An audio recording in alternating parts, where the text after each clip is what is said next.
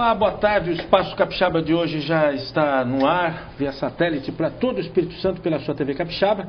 Nós hoje falamos de educação. Sempre às quintas-feiras, o Espaço Capixaba dedica pelo menos um bloco para falar sobre educação. Nós estamos recebendo aqui a secretária de Educação da Serra, professora Márcia Lamas, que vem falar sobre oportunidades para os jovens daquele importante município aqui do Espírito Santo. Tudo bem, secretária? Boa tarde. Boa tarde, Giovanni. Um prazer estar aqui prazer no seu nosso. programa. Olha, uma honra. Sempre falando e divulgando a educação, né? Pois é. E a, e a educação na Serra tem investimentos na Universidade para Todos, que prepara os alunos, os estudantes para o vestibular, né?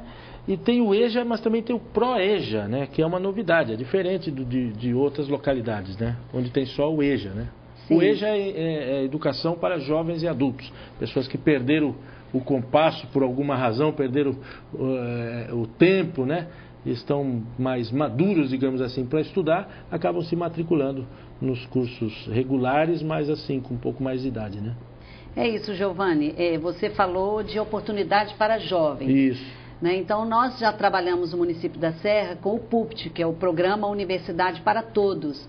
É uma parceria com a, com a UFES, com a Fundação Siciliana Bel de Almeida. E no ano de 2009, nós tivemos 700 alunos cursando pré-vestibular. Certo. E os resultados são fantásticos. No ano passado, nós tivemos quase 40% de aprovação dos nossos alunos do PUPT, ou na UFES, ou no programa Nossa Bolsa. Esse ano, o investimento foi em 900 alunos. Puxa. Nós estamos aguardando né, o resultado, os resultados para que a gente possa estar divulgando mas a gente vê que é um programa que dá oportunidade ao jovem, aquele jovem que veio da escola pública, né? Ele faz uma prova, uma seleção.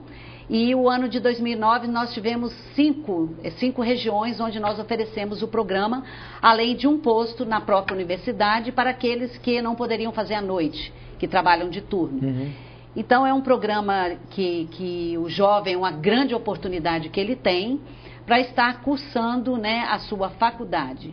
E você falou ainda de outra oportunidade, que é o só, programa. Só antes da gente concluir sobre a Universidade para Todos, tem um dado que é interessantíssimo sobre a Serra, que esse número de estudantes é, bancados, digamos assim, ou com bolsa pela Prefeitura da Serra, através dessa parceria com a Universidade para Todos, é no mínimo o dobro da segunda colocada, da cidade que tem uh, o segundo maior número de estudantes é, que tem apoio é, da o Prefeitura. município né? que oferece o maior número de vagas no programa Universidade e para o Todos. prefeito Sérgio Vidigal esteve aqui recentemente e disse que se depender dele, ainda nessa gestão, vocês vão atingir um número bem expressivo, mais expressivo ainda do que isso, né? Com certeza, porque o prefeito ele entende que é um investimento que tem um resultado né, muito, muito, muito grande. Uhum. Porque esses jovens que vão para o púlpito, o ano passado nós tivemos uma aluna de 59 anos de idade que há 14 anos não estudava Olha. e ela foi aprovada no primeiro lugar em serviço social da UFES.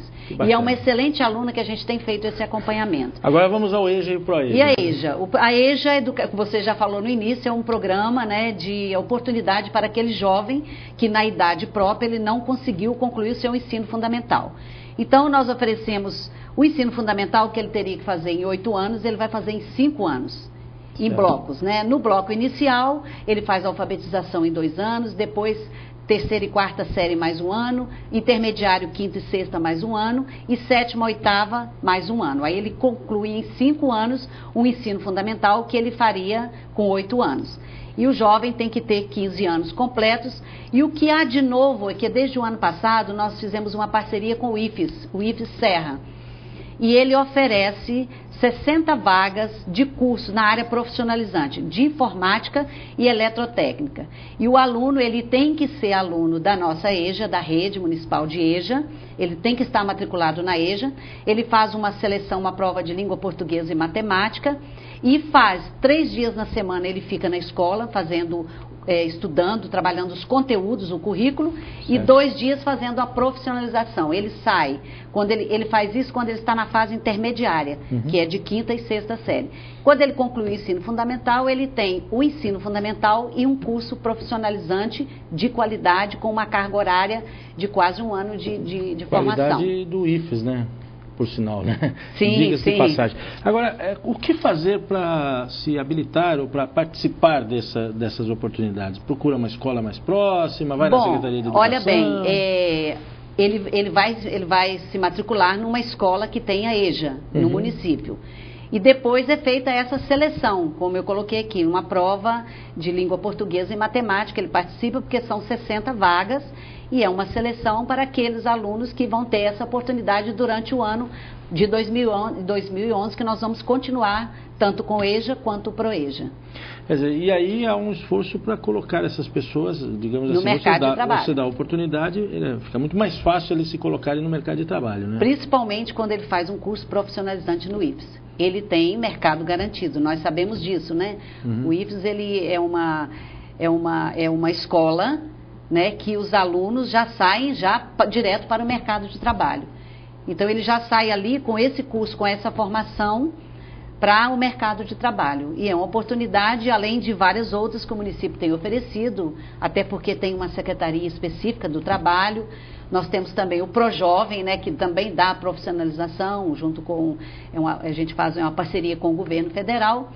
E a gente entende que esse jovem, ele precisa de oportunidade, porque assim ele vai estar fora né, das drogas, vai estar fora, longe da violência, e vai estar no lugar que ele deve estar, que é numa escola. Vai seguir o seu caminho O seu caminho. normal, né? Normal. Perfeitamente. Muito obrigado pela presença e parabéns aí pelo trabalho. Nós é que agradecemos.